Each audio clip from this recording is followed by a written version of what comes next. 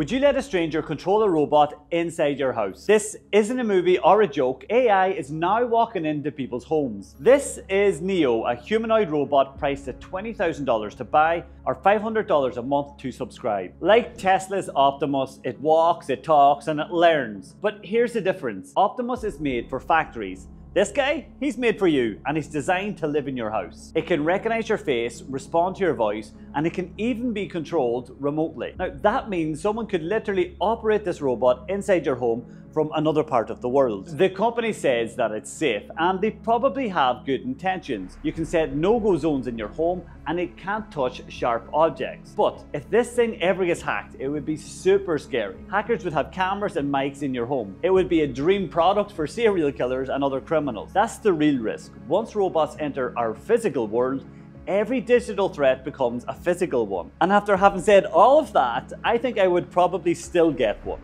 Would you?